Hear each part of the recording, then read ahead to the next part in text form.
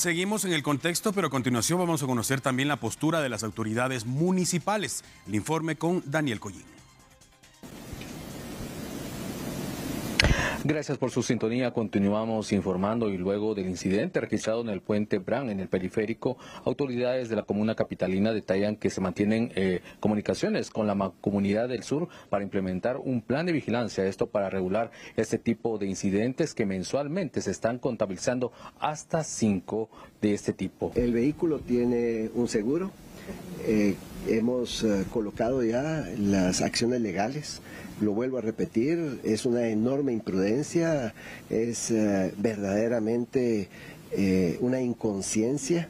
Y esto pues no es la primera vez que sucede, es recurrente, cinco accidentes de grado mayor al mes de este tipo de características se tienen en la ciudad y no digamos alrededor del país.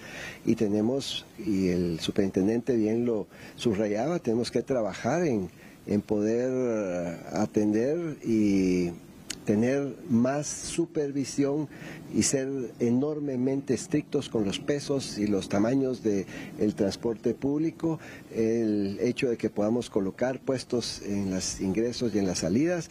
Y estamos también trabajando con los alcaldes, especialmente de la Mancomunidad del Sur, que podamos desde Amatitlán, desde Villanueva, tener un monitoreo de este tipo de, de transportes para poder, sobre todo, garantizar la integridad de las personas.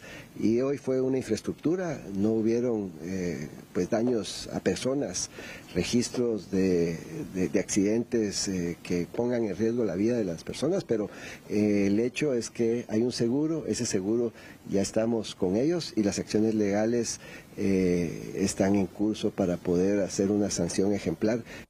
Asimismo, se da seguimiento al transporte que se vio involucrado en este incidente para la aplicación de la multa correspondiente. Con imágenes de Iván Barrera, informó Daniel Collín.